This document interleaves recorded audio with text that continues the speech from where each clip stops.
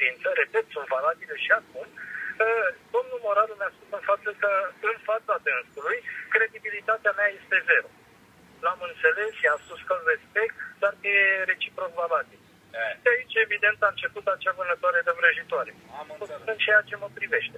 Restul la ceilalți, nu știu de ce să dorește a fi mitraliet. Domnul Lucian, echipa este la Râșnov, înțeleg, da? Sau la Poiana Brașov? Da, unde este? da, tocmai m-am întors și eu de acolo. Am înțeles, așa. Spuneți-mi, vă rog, noi în presă uh, am uh, văzut așa o... uh, E păcat, îmi pare rău că vorbim în loc, în, în, în, uh, când domnul Gana nu-i dă față, dar întrebarea aceasta o să o pune și dumnealui. Nouă ni se pare, din afară, că există o ruptură între jucătorii vechi și conducătorii vechi, așa, și jucătorii noi. Și Uh, uh, nu, nu, așa mi se pare nouă. Nu, eu nu afirm că este așa. Nu e așa, vedem. Vezi mai mulți jucători care au dus greu în divizia a doua, cum ați dus și dumneavoastră conducerea veche, și în divizia asta, acum nu prea. Și ce uh, pot să să vă rog? Martin, Mădălin Martin, de exemplu, care nu mi se pare un băiat de perspectivă, dar dumneavoastră știți. De ce a fost trimis acasă din cantonament? Să vă spun cum stau lucrurile vis-a-vis de echipă și de domnul Ganea. Nici eu nu mi-am permis vreodată și nici președintele Nicolae Manea să ne băgăm peste problemele antrenorului, indiferent că se numește Ionel Ganea sau că era Viorel Moldovan. Foarte corect, dar poate fi întrebat. Echipă, ceea ce ține de echipă și de jucători și de cine trimite pe teren, antrenorul răspunde, pentru că pe antrenor e vorba de noi, rezultatele îl ține în viață. Domnul Lucian, stați, stați, stați, stați, stați, că avem o problemă aici, ca rapidiști. Vă rog. Ca rapidiști. Dacă rapidul cade în B, ce, antrenorul pleacă și noi rămânem în B. Și ce am făcut? Păi, dar asta s-a întâmplat la toate echipele. Știu, știu, dar m-ați înțeles? Dom'le, asta cu antrenorul răspunde e relativă. Bagă echipa în B și ce facem? Da, bine, acum n-aș vrea să... Nu, tot respectul pentru domnul Ganea. Nu, adică nu vreau, nu mă, re, nu mă refer la dumnealui strict, ci ca idee generală. Așa, deci ce se întâmplă cu acest Mădălin Martin, care, sincer, nouă ne-a făcut o impresie bună. Vă spun, la, și mie mi-a făcut o impresie foarte bună și am spus de câte ori am avut ocazia, că el reprezintă viitorul rapidului.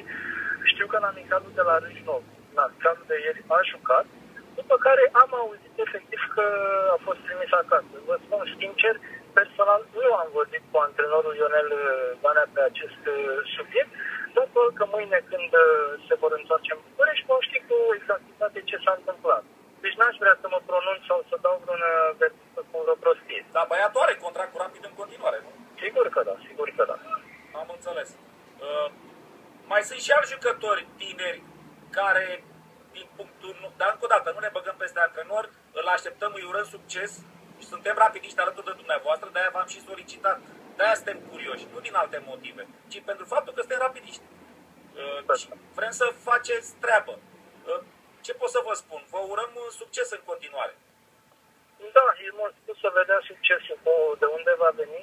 Uh, Păcat, mare păcat este că în loc acum să văzim toți în aceeași direcție, suntem împărțiți în tabere și rețineți. Și chestia asta am spus-o la ceea ce de conferință de presă. Suntem împărțiți în două tabere și o susțin și acum. Din păcate pentru Rapid și pentru noi, da, suntem în două tabere. În loc să tragem în aceeași direcție, să ne unim uh, eforturile, pentru că nu s-a schimbat nimic în bine din punct de vedere financiar. Deci suntem la fel de săraci ca anul trecut. Bun, din toată sărăcia asta, să continuăm să tragem într-o singură direcție, care se numește Rapidul. Ei, noi ne ocupăm de altceva.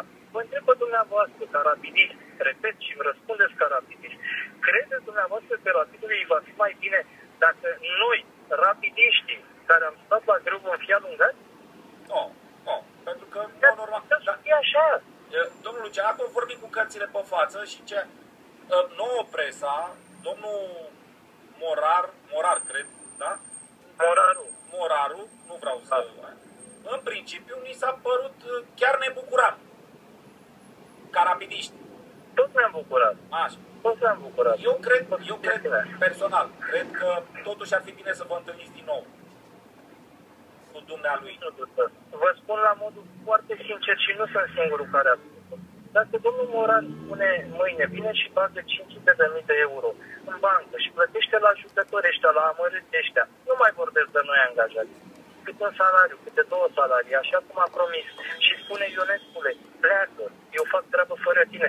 Vă dau cuvântul meu de om că am ieșit pe porțile de la ProRapid și nu mă uit în spate. Repet, mă duc, îmi iau abonament și locul de la tribună nu mi-a nimeni. Este foarte adevărat. Uh, Doar să ne alungi, fără motive, pe ce facem? Și în rest nu faci nimic. am înțeles, am înțeles. Încă o dată vă urez uh, succes și sper ca rapidul să iasă la liman. Și eu vă mulțumesc pentru că toți să știți că suntem trecători prin viața Rapidului. Rapidul trebuie să, să supraviețuiască și să ajungă acolo unde e loc. Eu am prins și Rapidul cu Mircea Lucescu ca angajat. Eu am prins două titluri din trei ca angajat. Știu că Rapid are forță și reprezintă forță. Și e păcat că s-a ajuns unde s-a ajuns și e păcat că niște oameni care nu cunosc și care se uitau la un tablou din 56 și spuneau ce caută tabloul ăsta de scrie pe el locomotiva, că noi suntem Vă dați seama, nu, nu, nu, că e real ceea ce spun. Da, da, nu, eu nu... Vă dați seama la cine a ajuns să ne judece și să ne alunge. Asta, aici ai tristețea și aici ai durerea și mi-e greu când mă uit și în ochii soției, care îmi spune pe în fiecare seară, de ce dracului mai stai? Nu te-ai săturat? Uh, din sânge de rapidist. Aia e, e sânge de rapidist pentru că tatăl meu din, uh, din cer de acolo vede. Și Ah. să- s-a bucurat pentru ceea ce am reușit să fac, iar asta nu mi le va lua nimeni. Au fost Bună ziua, domnul Lucian!